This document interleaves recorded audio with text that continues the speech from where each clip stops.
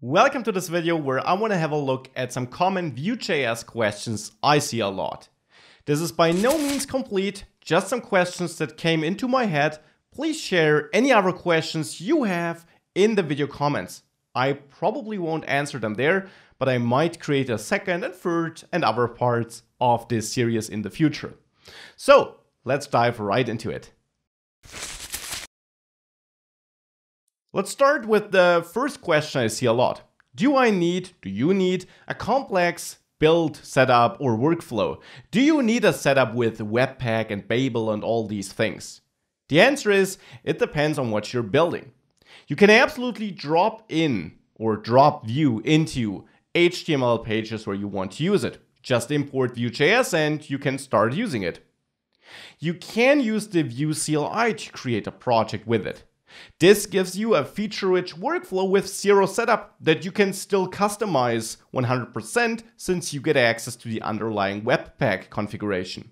So this is, in my opinion, the best approach, especially if you're building single-page applications. There you have one workflow that simply works and that's continuously updated by the people developing it. You can also build your own workflow with Webpack and Babel and so on, this, of course, is a good solution if you need a highly customized setup right from the start, but in most cases, the Vue CLI is best. One exception are multi-page applications, which you also can build with Vue.js. You're not limited to single page applications.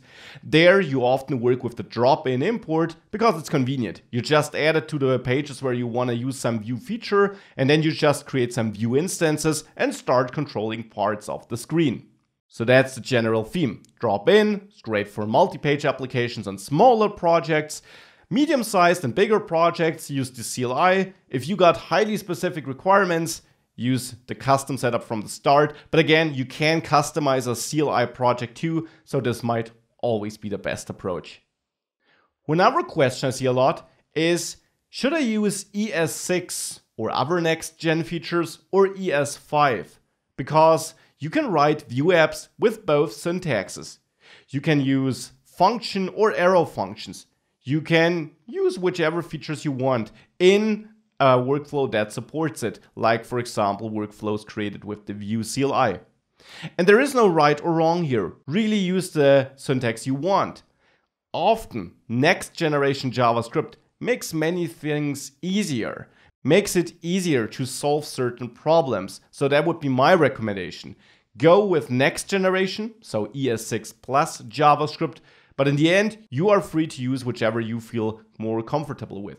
Important when using Vue.js as a drop-in import, so outside of a bigger build workflow, you're limited by the capabilities of the browsers you're building for.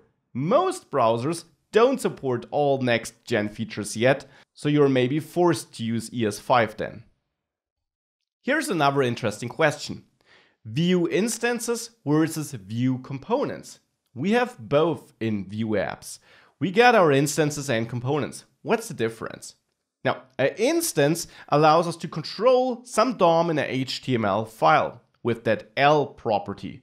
Now, theoretically, that's not the only thing an instance can do. You can use an instance without connecting it to the DOM, but typically you will use that el property to say, hey, in this DOM, I want to control this part with my instance, and now I can use features like that templating syntax with the double curly braces to output my text property, which I also manage in the instance.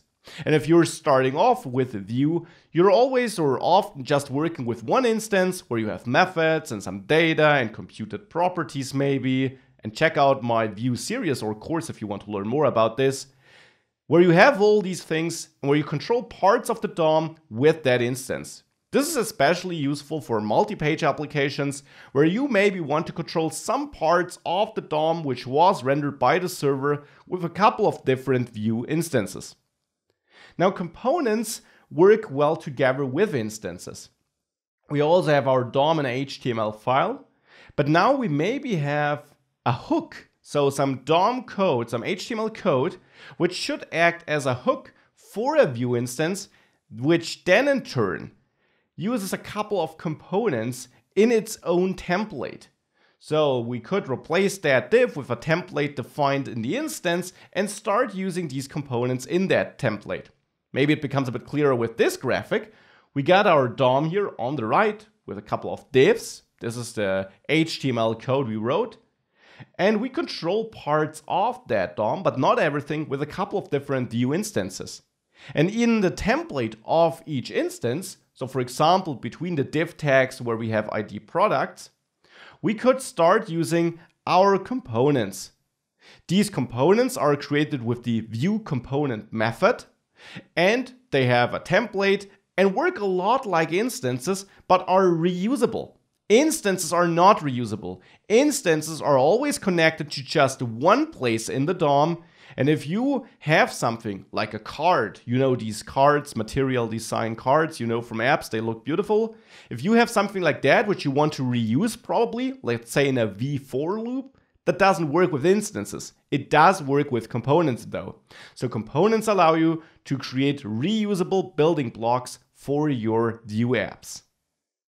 What about other third-party JavaScript libraries you want to use in your Vue app? You can do that you have a couple of options. You can add script imports either to a CDN or to a local file in the index.html file. And this also refers to multi-page applications where you add it to that file where you need the, well, package. Or you use a local import. So you have downloaded a file and now you import it directly into your JavaScript file with the import statement in that file. If you're building Vue apps, you use import statements in your JavaScript files all the time. And this now applies mostly to single page apps because for drop in imports in multi page apps, import statements aren't understood by most browsers. But if you have a build workflow that bundles everything together in the end, this will work. And this is how you then import other JavaScript packages, which will just be included in that big bundle in the end by adding such an import. Of course, you can also use npm or yarn, so dependency managers, to install and download these packages and then still import them via import statement. And for CSS, it's pretty similar. There, we can also use links in index.html or in HTML files in general, pointing to CSS libraries lying on some CDN or locally on our web server. Or we use a local file that we import with the import statement into our JavaScript file. Now that sounds strange. Importing CSS into a JavaScript file? Well, this has one important prerequisite. You need to be using a workflow that supports it. For example, one created with the Vue CLI. There, if you use the Webpack setup, it supports the import of CSS files it doesn't actually import them and mix them with JavaScript. Instead, it makes Webpack aware of the existence of that file. And if your workflow then has the appropriate modules to handle that file type, which the default CLI created Webpack setup has, then this will also include the CSS file in your final app automatically make sure it's injected into your index.html file and everything like that. So this is all managed for you by just adding an import to a CSS file into your JavaScript file. And only in one file is enough, this will already include it. And of course here you can also use package managers to download that CSS library like Bootstrap for example and then add that import. Everyone can see your code. Now, this is something I also hear a lot, and it's true. If you open the browser developer tools and you have a look at the source tab there, you can access the JavaScript files that are powering the page you're currently on. And there's nothing you can do. JavaScript runs in the browser, you can't hide it, it's not pre-compiled, so it's not uh, kind of unreadable. Everyone can read it. You can't avoid that. You have to ensure that you don't put security relevant or sensible information into that file, and that's about the only thing you can do, unfortunately. You just have to be aware of this. There's no way to hide it, it's visible to everyone. Can I use Redux with Vue.js is a question I get a lot. Yes, you can. Redux is not a library which is closely tied to React, though it's often used in conjunction with it. And you can implement Redux into Vue. Though my recommendation would be to use the Vue specific implementation, Vuex. It's by the same developers as Vue and therefore nicely integrates into Vue applications and works nicely together with Vue. So have a look at Vuex. I also got a series on that and I do cover it in my Vue course on Udemy too. Links to both can be found in the video description, of course. And with that, you get a powerful tool for managing state on a in a central place in your Vue application. Can you use Vue with PHP or Laravel, a framework, a PHP framework, or Node or any other server-side language or framework? The answer is yes. Vue runs in the client, in the browser. It doesn't care about your server-side framework or language. Still, we can differentiate between single-page applications and multi-page applications, and let me explain what the difference then is. In both cases, you can use any server-side backend though, however. So for single-page applications, Vue controls the entire frontend and we only get one file, the index.html file, from the server. For multi-page applications, we only control parts of the views which are rendered by the backend. Now for single page applications, our server sends that single index HTML file where the Vue app then runs and controls the entire frontend. And all further communication, where we might need to store data on the server or fetch data from there, happens with a RESTful API, which, and that's important, could also run on a different server. Vue really doesn't care. Now, for a multi-page application approach, we also got a server and there we render our views. So we send multiple pages for different requests. And if we click on a link there, for example, we send a new request to the server and get back a new view. And then Vue, the, the library, the framework, runs in some or in all of these views. That's totally up to you. So you then use Vue in there you don't have a RESTful service because Vue is now communicating with your Vue. And if you need to directly communicate to your server, you would do this with an AJAX request, providing one RESTful endpoint, I guess. But in general, the, the approach is a different one because the server plays a more important role when it comes to rendering the views, the front end. It doesn't do that at all in a single page application approach. My state is lost after page reloads. That's also something I hear a lot. And it's true. If you're coming from a traditional web application, web page environment, you used sessions to manage the user state if the user is logged in or something like that. Now, for single page applications, and that's important, it only applies for that, of course, if your server is closely connected to the frontend because it's rendering views. So, if you have a multi page application, then you might still use sessions. But for single page applications, the front end, the single page, is kind of detached from the backend. So we don't use sessions there. We can't really do that. The backend is stateless instead. We got two other options for storing data in state. One is local storage, and one is, of course, a server side database. Local storage is a client side storage mechanism, like cookies a bit. It runs in the browser and it can be accessed through JavaScript. You can't directly access it from the server or anything like that. It's a simple key value store, so complex data can't be stored there, but it's great, for example, for storing a JSON web token, which is often used for authentication in single page applications. And when your Vue app starts, you can have a look at local storage and see if and which data already is in there and possibly initialize your Vue app with that data. Hence, keeping the old state. Now, not all the state should be stored here. I said that we don't use sessions, but of course, on your RESTful API, you probably have a database. This database is fully under your control since it runs on the server. It's accessible only from the server, which can be a security advantage. And you can use any database you want. You can store any types of data you want. You're not limited to a key value store here uh, server-side database is the right choice for any data that needs to be long time persisting. So let's say you plan on storing the, the orders of a user.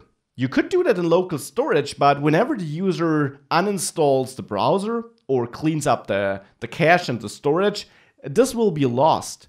For some state, this is okay. For other state, it is not. And that should then be stored in your server-side database. Can you host your app on Heroku, etc.? So on hosts that run uh, server-side languages, for example, Node.js and so on. Well, let's have a look at what we get when we build our Vue application. And with that, I'm again talking about a single page application. Multi-page applications, you host these on a server which supports the server-side language you're using because it's your server side that's rendering the views. Single page applications are detached from the backend though, so you can host them separately. If you build your Vue application for production, for example in a Vue CLI project setup using Webpack, then you get a couple of files an index HTML file, a couple of JavaScript files, and maybe a couple of style files. All these files are static files. There's no server-side code in there. The JavaScript file doesn't use Node.js. It will run in the browser eventually. So therefore, we don't need a host that is capable of executing server-side code. Any static host, like AWS S3 or Firebase hosting does. So search for static web host when you're looking for a host for your Vue single page application. Here's another common problem I see a lot. My routes don't work after deployment. So here are you, the user, the user using the web page, and the server. You enter a URL, and what you get back is a page where your Vue application runs. And I'm talking about a single page application again here. For multi-page applications, you're not going to run in this problem because all the routing is done on the server there. For your single page application, however, the routes are stored on the front end in your Vue app.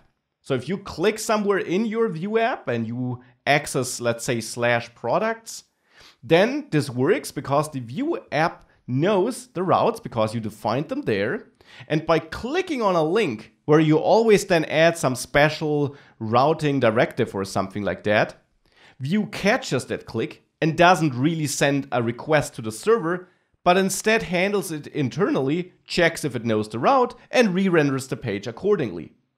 The server doesn't store any routes, doesn't have any routes. Now, if you click the refresh button of your browser, you'll face an issue.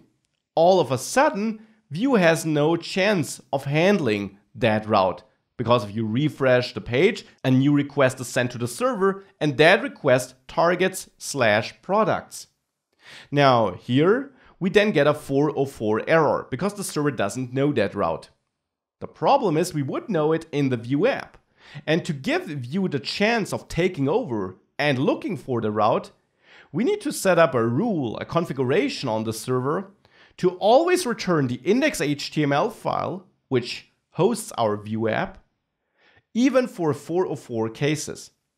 This means that instead of a 404 error, we now again get the index.html file with the Vue app, where we can look for that specific route, and if it finds it, it can render the according page. And if you still want to provide a 404 page for routes that aren't defined there either, you would need to add a catch all route in your Vue router setup. So a route that catches all unknown requests and then renders some default page from within your Vue application.